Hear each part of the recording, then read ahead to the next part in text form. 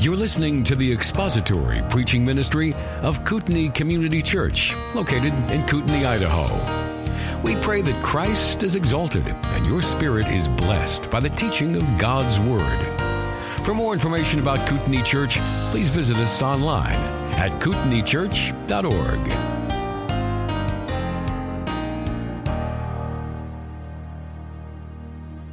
So, according to the 2020 U.S. Census, 37.2 million Americans were considered to be below the poverty line.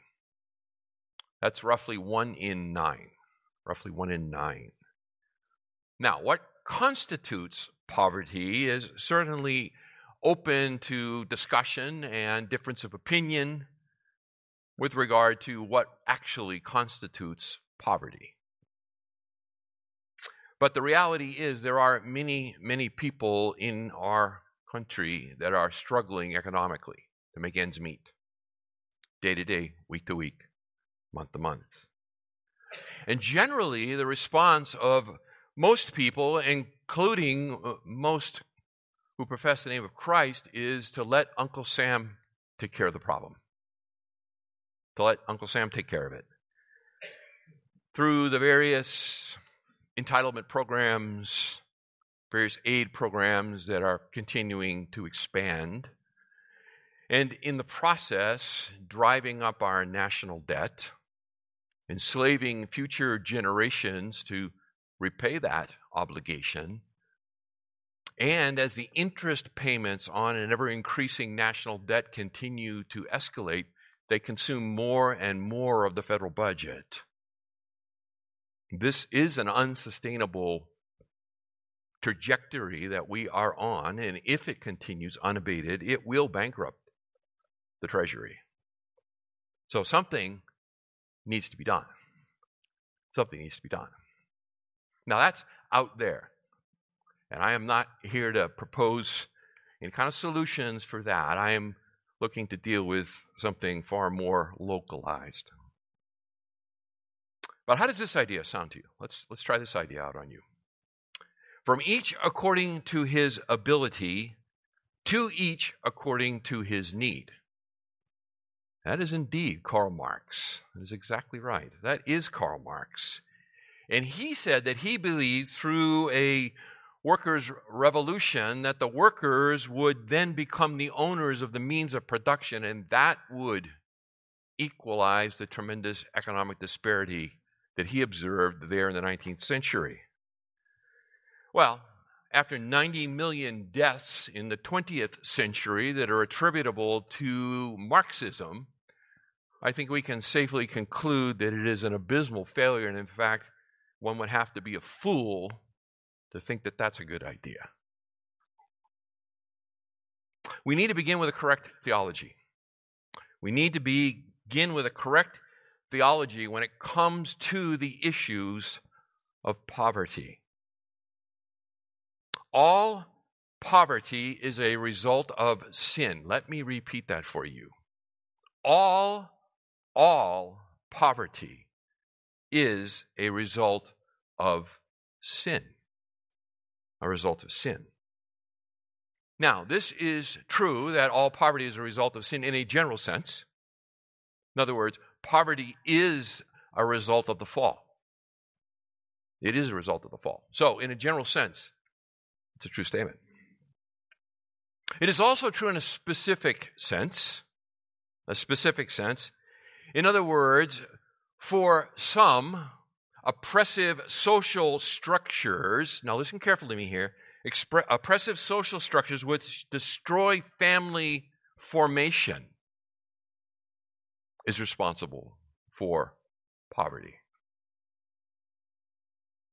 There is no more reliable predictor of the economic welfare of a, of a family unit than the state of its marriage.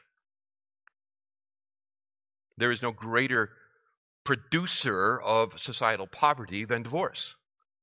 I mean, these statistics are not disputable family formation or the lack thereof, single parent homes, non children born out of wedlock, so forth, a result of sin, are a result of certain social structures that encourage such things, and they are producers of poverty. There is also a personal sense in which sin is responsible for poverty. In other words, specific sinful actions on the part of some, some poor people, and on the part of those who take advantage of them. So sin is the cause of all poverty, generally, specifically, personally. It's sin. Therefore, therefore, it is safe to conclude that in the millennium, poverty will be virtually eliminated because sin will be largely repressed by the powerful and benevolent hand of King Jesus. Isaiah 11, verse 4 But with righteousness he will judge the poor and decide with fairness for the afflicted of the earth. And he will strike the earth with the rod of his mouth, and with the breath of his lips he will slay the wicked. But we live in the here and now. We do not live in the millennium. We live in the here and the now. And many in churches across America are wondering what are we supposed to do about these issues that have now been sort of gathered up under a rubric called social justice. Social justice. Now, the term social justice I do not like. I'm not a fan of it. I don't like the name. I don't like the typical evangelical solutions that are put forth in response to it. But I cannot deny some of the underlying root problems that are identified under it. Throughout this series, we have learned that legitimate work done well is God glorifying and a soul satisfying endeavor. Legitimate work done well is a God glorifying, soul satisfying endeavor. To work is what we have been created for. And it is part of what it means to be made in the image of God. Therefore, therefore, to deny a person the opportunity to work through coercion or economic incentives is to deny him a portion of his humanity. Let that thought rattle around a moment. To deny a person the opportunity to work through coercion or economic incentives, in other words, being paid not to work, is to deny him a portion of his humanity. Let me ask you a question. What would a social welfare system look like if God were to set it up in his kingdom? What would it look like? How would God provide for the poor? If he were to set up the, the kingdom and its social welfare plans. Huh, here's the amazing thing is we have a pretty clear statement of an answer to that question because God did such a thing 3,500 years ago. 3,500 years ago, God set up just such a system. When God established the Mosaic covenant with his ancient people Israel, he gave them a very detailed set of laws regarding not only how they were to relate to him, but also how they were to relate to one another.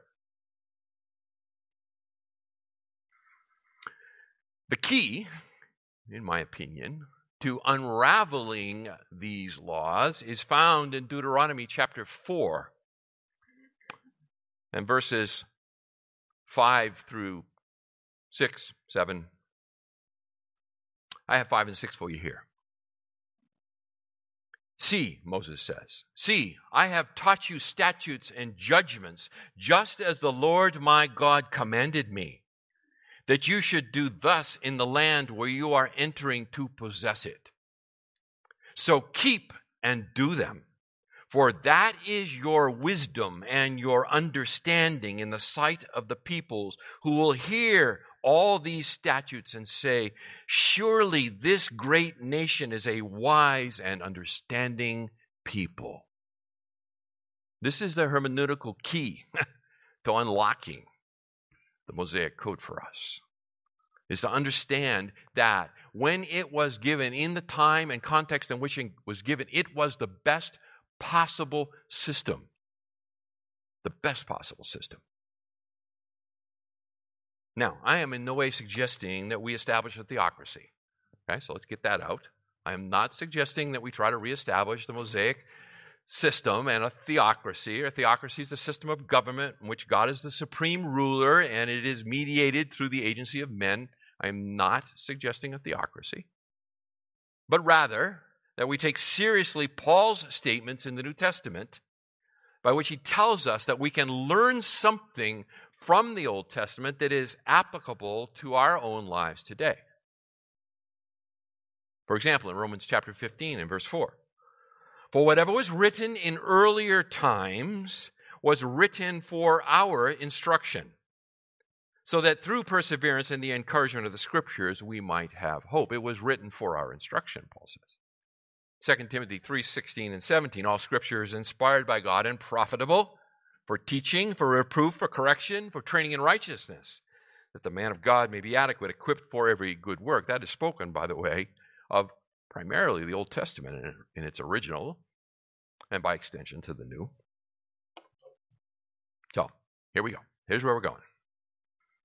This morning, I want to look with you at how work and welfare were related in the Mosaic Covenant so that we can extract biblical principles and we can then apply them to our own efforts to care for the poor. Okay? We are looking to understand what God said and then principleize it and then extract those principles for our own instruction today in the here and the now. Okay. Let's begin with some background. The Mosaic Law was not based on a utopian idea that all people are equal in rank and ability. It is not based on that. It was based on the hard reality that within a sinful race, there will always be economic disproportionality. However, the people's attitude towards that disproportionality must always be one of compassion Turn with me to Deuteronomy chapter 15. Deuteronomy chapter 15. We are going to be spending this morning in Leviticus, Numbers, Deuteronomy, with a dip into Exodus. Deuteronomy chapter 15 and beginning in verse 7. It is our attitude towards economic disproportionality that is in view here. Deuteronomy chapter 15, beginning in verse 7. If there is a poor man with you, one of your brothers, in any of your towns in your land which the Lord your God is giving you, you shall not harden your heart, nor close your hand from your poor brother. But you shall freely open your hand to him, and shall generously lend to him sufficient for his need in whatever he lacks. Beware that there is no base thought in your heart saying, The seventh year, the year of remission is near, and your eye is hostile towards your poor brother, and you give him nothing. Then he may cry to the Lord against you, and it will be a sin to you, or a sin in you. You shall generously give to him, and your heart shall not be grieved when you give to him. Because for this thing the Lord your God will bless you in all your work and in all your understanding, for the poor will never cease to be in the land. Therefore I command you, saying, You shall freely open your hand to your brother, to your needy and poor in your land. always will be economic disproportionality, but compassion is to rule our hearts. Now, one of the major causes of economic disproportionality is most certainly the sinful oppression of powerful people. The sinful oppression of powerful people is one of the major causes of economic disproportionality, both then and now. Proverbs chapter 13, verse 23 The fallow ground of the poor would yield much food, but it is swept away through injustice. It is swept away through injustice. Accordingly, God severely judged his people for this crime. Isaiah chapter 3. Yep, we'll find our way there too. Isaiah chapter 3, verses 13 through 15. Hear the words of the prophet. Isaiah chapter 4, chapter 3, excuse me, verses 13 to 15. The Lord arises to contend and stands to judge the people. The Lord enters into judgment with the elders and princes of his people. It is you who have devoured the vineyard. The plunder of the poor is in your houses. What do you mean by crushing my people and grinding the face of the poor? declares the Lord God of hosts. What do you mean by doing these things? Flip over to Amos chapter 8. Amos chapter 8, beginning in verse 4. Daniel, Hosea, Joel, Amos, Obadiah. Yes, that is how I got my um, got through my ordination exam. Was singing the song of the Bible. Mm-hmm. It was a long time ago, and I've never forgot it. Amos chapter 8, beginning in verse 4. Hear this, you who trample the needy, who do away with the humble of the land, saying, When will the new moon be over, so that we may sell grain, and the Sabbath, that we may open the wheat market, to make the bushel smaller, the shekel bigger, in other, in other words, raise prices, and to cheat with dishonest scales, so as to buy the helpless for money and the needy for a pair of sandals, that we may sell the refuse of the wheat the Lord has sworn by the pride of Jacob, indeed, I will never forget any of their deeds. Because of this, will not the land quake, and everyone who dwells in it mourn? Indeed, all of it will, will rise up like the Nile, and it will be tossed about and subside like the Nile of Egypt. It will come about in that day, declares the Lord God, that I will make the sun go down at noon and make the earth dark in broad daylight. Then I will turn your festivals into mourning and all your songs into lamentation. And I will bring sackcloth on everyone's loins and baldness on every head. And I will make it like a time of mourning for an only son. And the end of it will be like a bitter day. Behold, days are coming, declares the Lord, when I will send a famine on the land. Not a famine for bread or a thirst for water, but rather for hearing the words of the Lord. People will stagger from sea to sea, and from the north even to the east. They will go to and fro to seek the word of the Lord, but they will not find it. In that day, the beautiful virgins and the young men will faint from thirst. As for those who swear by the guilt of Samaria, who say, As your God lives, O Dan, and as by the way of Beersheba lives, they will fall and not rise again. The judgment coming.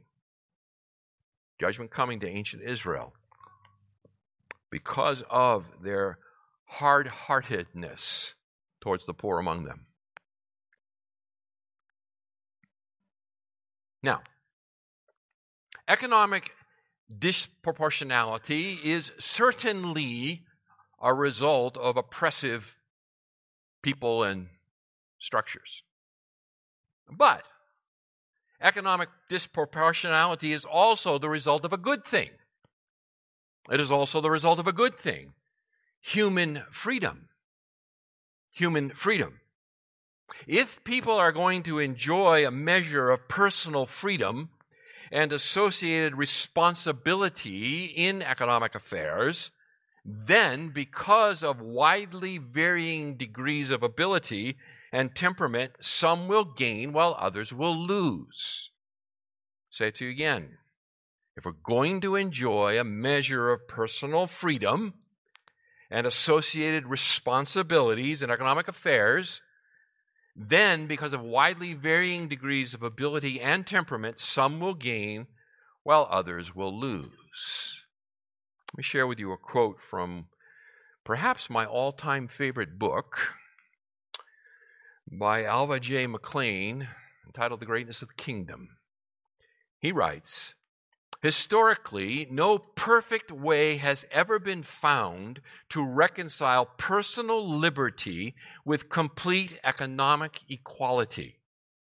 The reason being that the root of the problem is in the nature of man himself, and consequently, individual action is never wholly predictable. Economic disproportionality is a result of human freedom, varying levels of abilities and temperaments.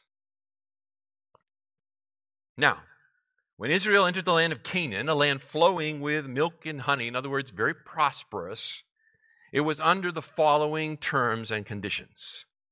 The following terms and conditions. First, God owned the land. Leviticus 25. God owned the land. Leviticus 25 and verse 23.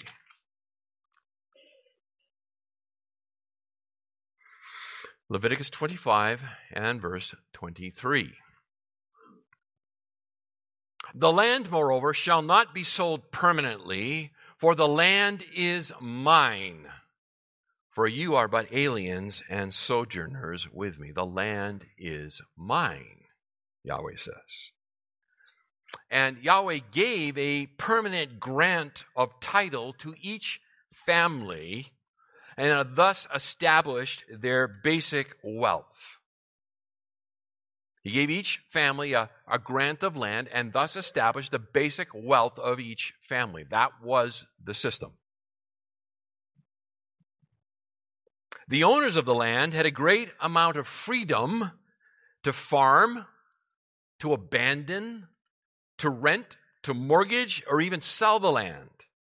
But the one thing they could not do is permanently surrender it. Permanently surrender it. Either for themselves or for their heirs. Again, look at Leviticus 25. He says here again that the land, moreover, shall not be sold permanently, for the land is mine, but you are but aliens and sojourners with me. Thus, for every piece of your property, you are to provide for the redemption of the land. In other words, they could not permanently surrender the land grant that had been given them. Thus, they could only impoverish themselves and their heirs for a period of time. They could only impoverish themselves or their heirs for a period of time. Because they had such economic freedom, it was inevitable that foolish decisions or difficult circumstances would impoverish. When it happened, they were to be helped by others who were better off, but only as they worked for it. Only as they worked for it. Leviticus 19, verses 9 and 10. Now, when you reap the harvest of your land, you shall not reap to the very corners of your field, nor shall you gather the gleanings of your harvest nor shall you glean your vineyards, your vineyard, nor shall you gather the fallen fruit from your vineyard. You shall leave them for the needy and for the stranger. I am the Lord your God. When they impoverished themselves, they were to be helped by others who were better off than they were, but only as they worked for it. Only as they worked for it. So, under this system, God gave them the liberty to fail, but not the liberty to starve. The liberty to fail, but not the liberty to starve. In other words, there was a mechanism built in All right, let's look at some specific provisions here of the law. Specifically, God required the poor must be helped. They must be helped, but it must be done in a way that does not dehumanize them. Does not dehumanize them. For example, God did not tax the wealthy in order to redistribute their wealth among the disadvantaged. Instead, he required the wealthy to intentionally leave behind produce in the fields and vineyards that the poor could have if they would work for it. Deuteronomy 24. Deuteronomy 24 and verse 19. Okay? He did not tax the wealthy and then redistribute the taxes to the poor. What he said to them is, You are to leave behind some of the produce of your fields so that they can work and feed themselves. Deuteronomy, Deuteronomy 24, beginning in verse 19. When you reap your harvest in your field and have forgotten a sheaf in the field, you shall not go back to get it. It shall be for the alien, for the orphan, for the widow, in order that the Lord your God may bless you in all the work of your hands. When you beat your olive tree, you shall not go over the boughs again. It shall be for the alien, for the orphan, and for the widow. When you gather the grapes of your vineyard, you shall not go over it again. It shall be for the alien, for the orphan, and for the widow. You shall remember that you were a slave in the land of Egypt. Therefore, I am commanding you to do this thing. So, those who were well off were commanded to leave a portion of their wealth available to the poor provided they worked for it. Provided they worked for it. Further, God provided a means for the poor to obtain help by borrowing interest free. By borrowing interest free. This prevented their debts from growing while they were trying to pay them off and was designed to avoid the slavery that excessive debt can cause. Leviticus 25. Leviticus 25, verses 35 to 38.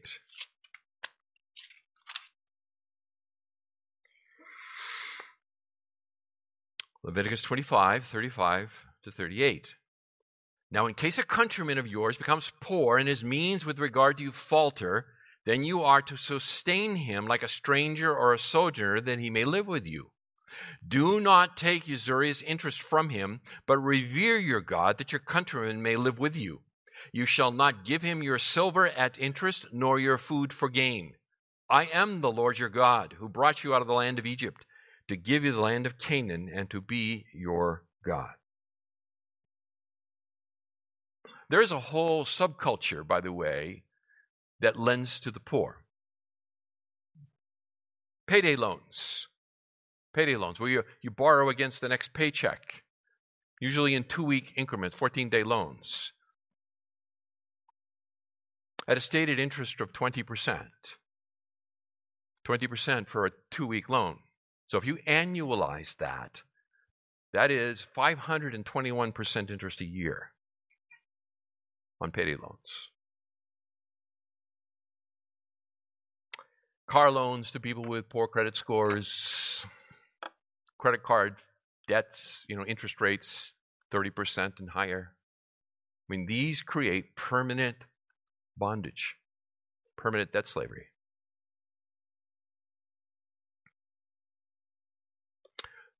Beyond that, God ensured the poor received a bonus every seven years when the fields were rested. And then they had access to whatever sprung up naturally so, Exodus 23, 10 and 11. Exodus 23, 10 and 11. You shall grow, you shall sow your land for six years and gather in its field.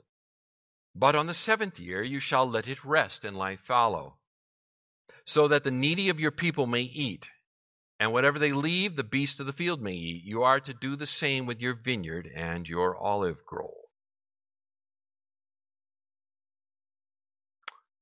Every seventh year, let the land rest, and it is freely available to those who need to eat.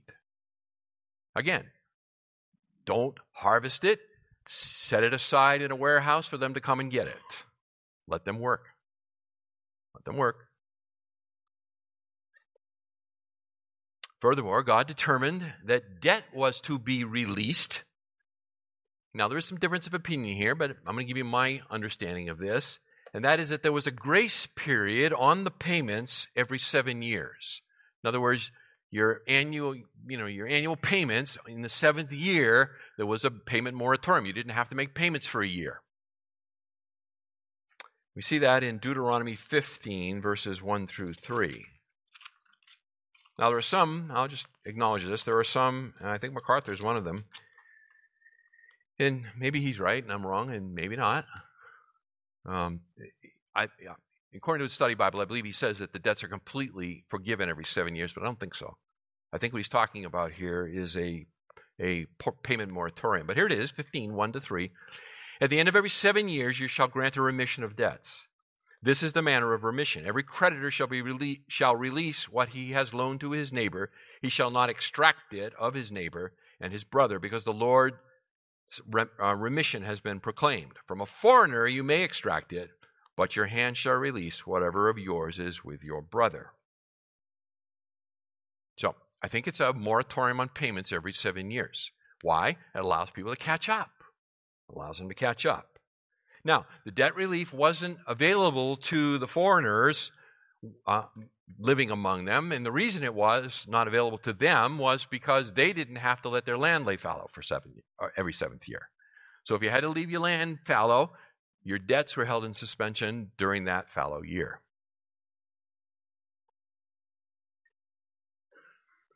Furthermore, God required that when hired, the poor were to be paid their wages every day rather than having to wait for their money. Deuteronomy 24, 14 and 15. 24, 14 and 15. You shall not oppress a hired servant who is poor and needy whether he is one of your countrymen or one of your aliens who is in your land, in your towns. You shall give him his wages on his day before the sun sets, for he is poor and sets his heart on it, so that he will not cry against you to the Lord and it becomes sin in you. The poor would be paid their wages every day at the end of the day. And the reason is because they were living hand to mouth.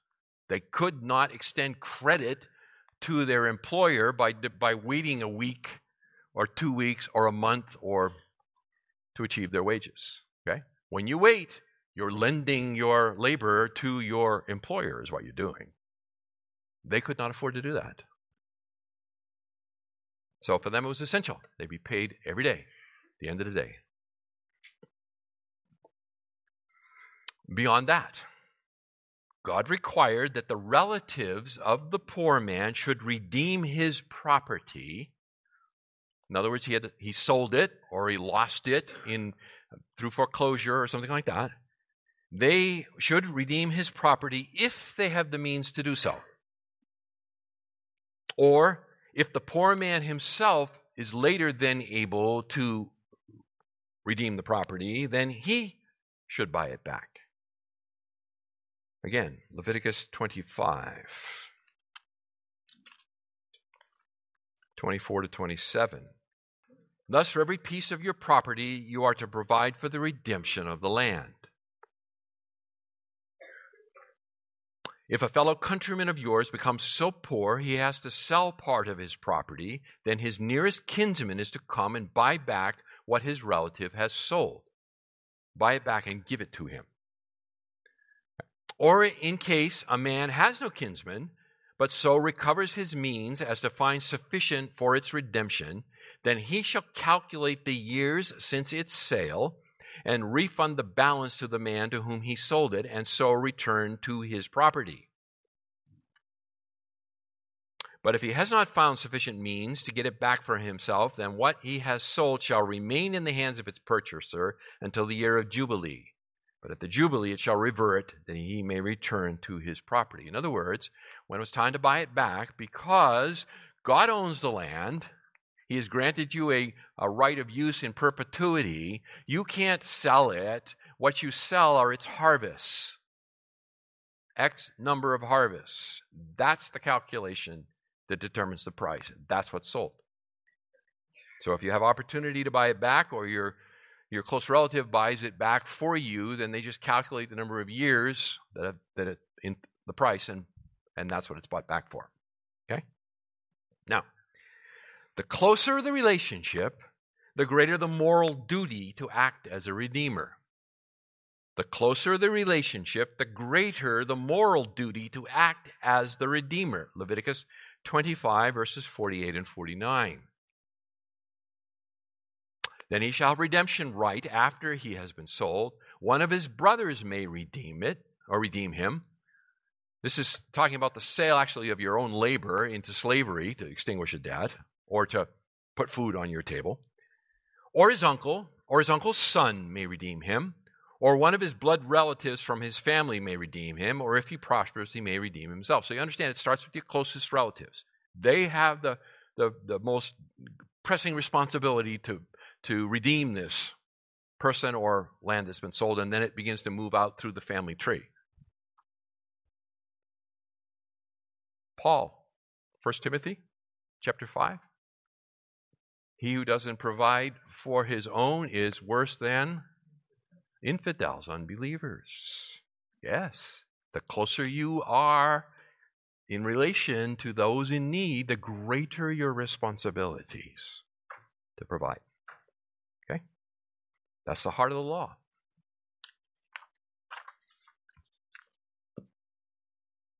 Finally, God established a provision so that every 50 years the family of the poor received a jubilee. Jubilee. So we see this in Leviticus 25 again, verse 10. Leviticus 25, verse 10.